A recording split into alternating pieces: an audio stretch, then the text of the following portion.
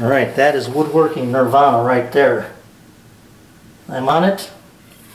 It's it's just almost perfectly flush, and I'll take care of that when I sand this whole thing when it's uh, one piece. But that is going to be outstanding. All right, there's several big moments in this project, and this is one of them. Drilling these hinge pins into the uh, lid. I played around with different um, shims, you know, like this style here, just cutting them, uh, you know, ripping them off and, and breaking them into pieces. And I just couldn't get it just the way I wanted. It finally dawned on me to place the lid where I wanted it. You know, just kind of hold it in place. Then I dropped these wedges in place in various spots. Just let them sit, uh, you know, pretty much by gravity. Then I just kind of went around and tapped them lightly with my fingers here. And that lid is nice and solid. Then I put this a rapid action clamp on. Just gave it one click to keep down pressure on the lid. And now I'm ready to go.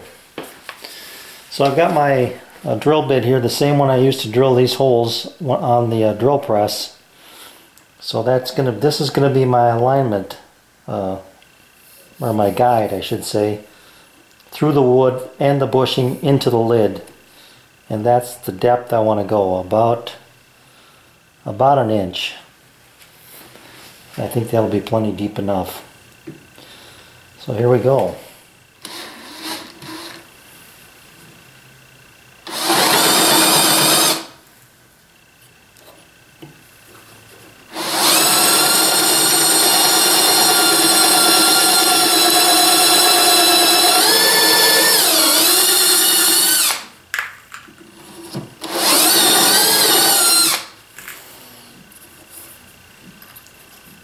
See as I was putting pressure on that, these popped out, but that's all right. It should be okay. Yep. Now I'm just going to go to the other side and drill that one.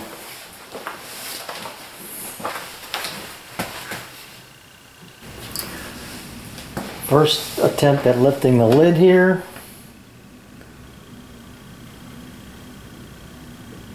Look at that. I love it. Beautiful.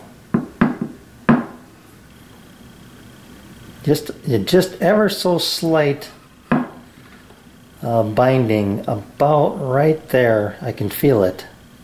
That's okay.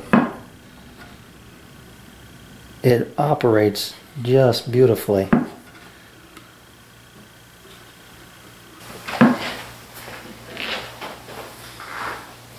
I'm using my uh, tenon jig here.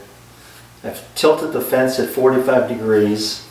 I got a piece of scrap plywood, half inch plywood that's about the same width as my box. And I want to run this through to see if I like the location of the uh, of the key here and also to see if I get any tear out. I, I may use this as a backer board or I may not. It depends upon how this all goes. So let's see how, how it works.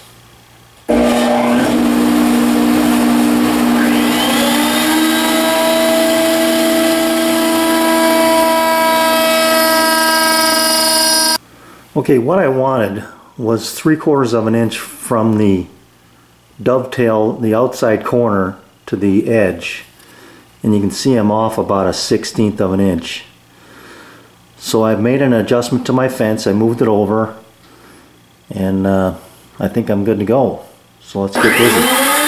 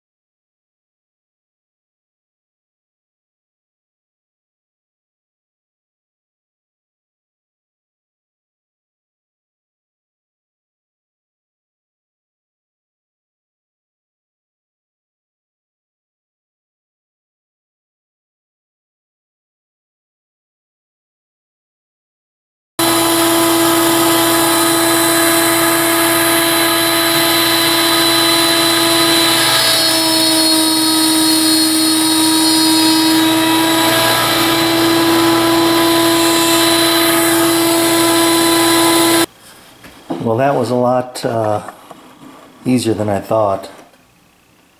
You can see there. That's going to look really nice.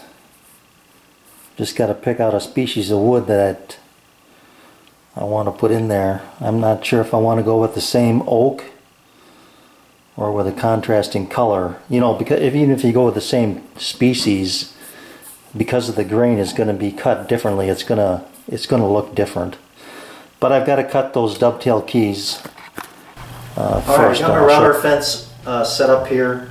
Uh, I did not change, I, I take that back, I did change one thing uh, with the bit. I raised it a 32nd of an inch.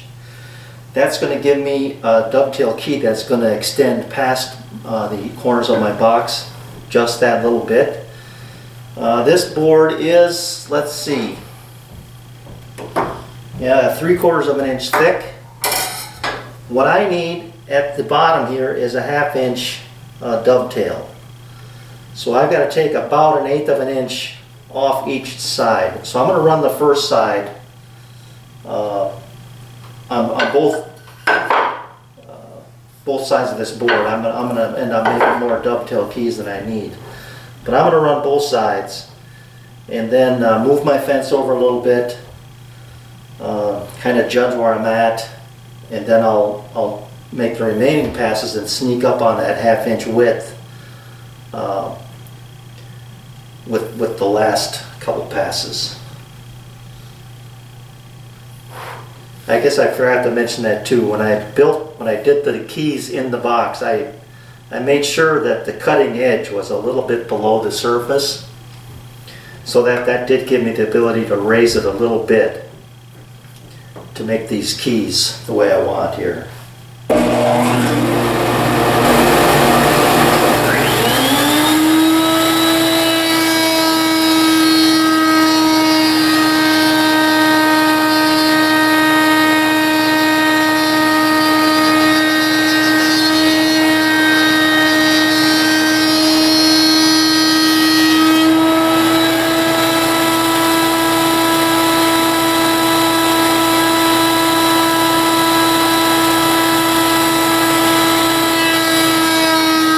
time. And that's a nice s- slip, snug fit. So I'm going to rip these off. I'll take one or the other and fit these keys and uh, then glue them in.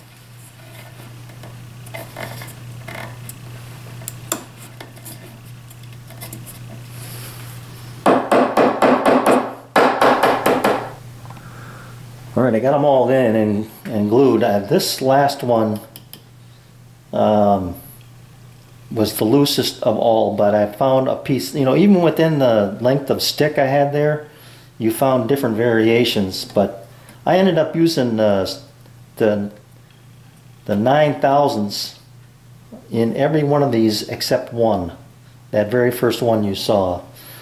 So uh, they're, they're, it's a good fit. That this one here doesn't wiggle anymore. I think I I'm not saying I filled the gap with glue, but it, it was maybe a thousandths or two off.